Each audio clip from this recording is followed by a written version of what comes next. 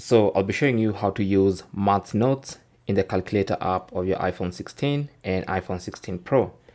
So with these new iPhones running iOS 18, if you launch the calculator app, there's going to be something new called Maths Notes. Okay, so to get to that, just open the calculator and then tap on this calculator icon in the bottom left corner and then tap on Maths Notes. So that's going to open your math Notes. This is a history of all the math Notes I've tried. To create a new math Notes, just tap on this new note icon and then from the menu here, choose the pen tool or the markup tool. Okay, and once you select that, you can actually write stuff. Okay, so for instance, you can write log to base 10 of uh, 3.8 okay? And when you put the equal sign it's going to do that calculation for you. Okay?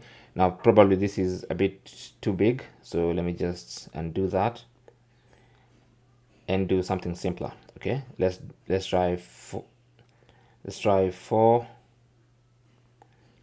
four times four equals and it should give me the answer.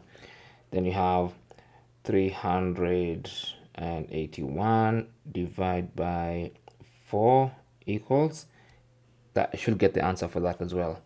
Now let me try the log again. Log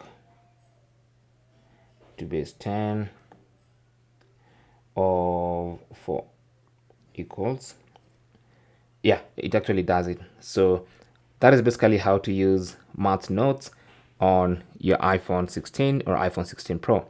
Now keep in mind that this is not uh, exclusive to the iPhone. You can use this in any iPhone running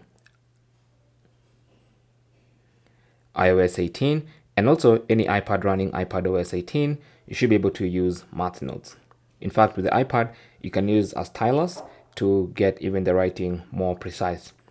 Thanks for watching. Comments and questions down below and good luck.